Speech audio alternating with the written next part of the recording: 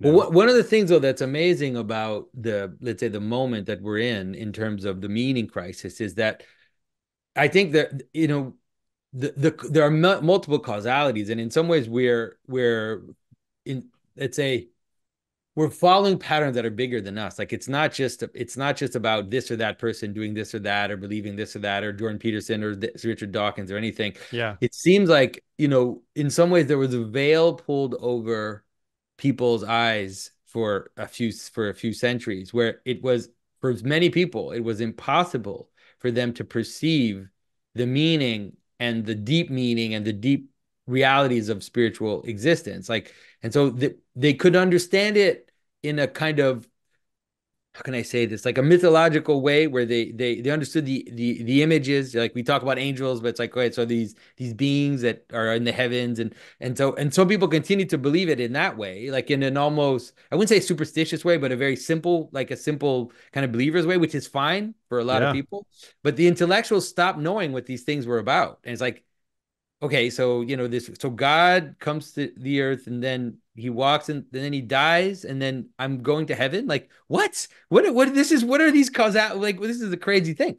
Yeah. But what's what's happening? I think is that in some ways there's something in the culture. There's something happening in general, which is breaking apart this veil, like opening the veil, and so that people are now able to perceive what it means for there to be agencies beyond human agency what it means on us, like what it looks like for agency to act on humans, what what it means for someone to be ridden by a demon or to be affected by these these spiritual powers that that you know influence us, right? Uh, and I think you know, and and you can see it breaking, like even with C.S. Lewis, you can kind of see it happening in the '50s. It's already kind of they're little little cracked, but now it's like opened up. Uh, but it's yeah. dangerous because most people most people are not going to go Christian most people are going to go weird, weird, you know, stuff like because all of a sudden it's like, oh, I have access to this, so let's take psychedelics. I have access to this, so let's let's you know try to have mystical visions of whatever, like completely without any discernment. Yeah. Uh, and that's a so it's we're we're looking down a dark path mostly, I would say. I think so, and you know it's it's it's fascinating. I mean I, I, have a few things to say. Number one is i think that a lot of people don't realize how much we are subject to the thoughts of philosophers who have been dead for a century or two. You know how much they affect culture how much we think their thoughts without even knowing that they've been passed on to us from them mm. um, which is a normal human thing right? But when when the thought is not christ anymore it becomes other things. Um, but also, yeah, I, I think that there's a lot of people who've discovered, as you said, like they take psychedelics or they get into the occult or Wicca and they discover this stuff is real. Right? They discover like this is real. A thing happens when I do this. And um, that can be very intoxicating. Yeah, of course and and there's a sense of like this is real and i've been told all my life it wasn't real and wow it's real. But it's like okay yes it's real but it may not be good. That's right. it, it may not have your best interests at heart you know? Yes you're talking to a spirit. What is that spirit? I mean it's suddenly all of these things in the scriptures about test the spirits. Wow how yeah, applicable is that old that old stuff? It's so applicable you know? Uh yeah i think there's um like like I like to talk about enchantment a lot, which is an interesting word. Um, I, I like. I mean, words don't always mean what they etymologically suggest they mean, but I like mm-hmm. to still push them in that direction anyway. And I think that's because there's a little J.R. Tolkien inside me saying, "Do it." You know, you want to do it. Uh, you know, so like enchantment, right? It means to sing into something, literally singing in and and chant, which is probably a little bit more obvious for for you in French, you know, because yeah. chanter is just sing, right? Um, but um, that there's a sense of this sort of ritual action that that a person takes that then defines the story that they're in and mm-hmm. tells them how to live in that story and you know um, affects them. Um, but there's there's dark enchantment. Oh yeah. Right? Like there's evil spirits um and i mean no matter how someone wants to conceive of them if they you know they could conceive them in the classic sense of some like sort of like a a, a dark looking angel with with bat wings or whatever um, as a demon, or you can say, you know, vast cosmic intelligence that has is is you know coming on us from the top and is leading a whole society with a spirit.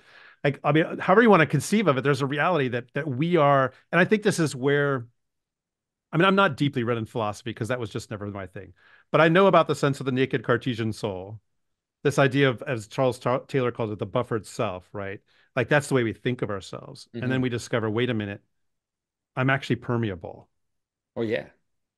And um that's dangerous and exciting and interesting and I don't know talk, talk about that a little bit like what does it mean to be permeable beings in the midst of a a, a crisis of meaning or like you know Charles Taylor I want to talk about this question of the age of authenticity that he describes yeah. too in in his stuff like like it seems like everyone's heading for try to be as authentic as possible. You know, what's the saying? You do you. Yeah. Right. Yeah. Isn't that all about like whatever it is you are, just go ahead and be that.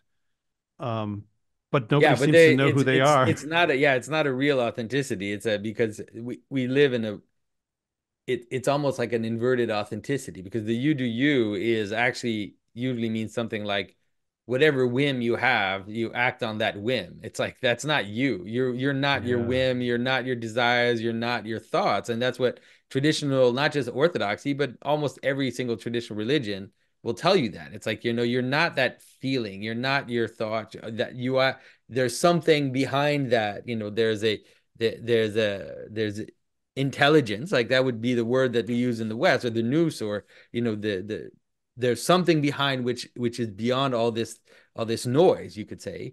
It's not that the noise doesn't participate in you it's it is a manifestation of you but it's not you, are not that. And so uh so we have this problem right now which is that people are looking for spirituality but they confuse all the levels. It's like they we've just lost the wisdom. And so they confuse like some experience or some feeling or whatever. I mean we've been misled for so long you know even all these german uh, theologians who talked about religious feeling like as if that's what religion is about you know?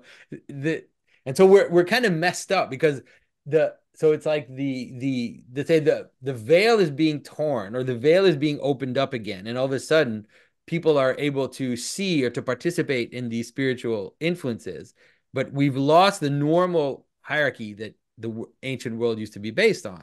And so no people don't know how to differentiate a demon from an angel. They don't know how to differentiate something which is can still cause a kind of ecstasy like you know you can you can you can fall into a trance if you go to a rave like and and you can kind of enter into a spirit and then completely lose yourself in a rave but that's not that's not the equivalent of taking communion. It's not the equivalent of doing the jesus prayer although both can lead to uh, types of ecstatic of ecstasies you know?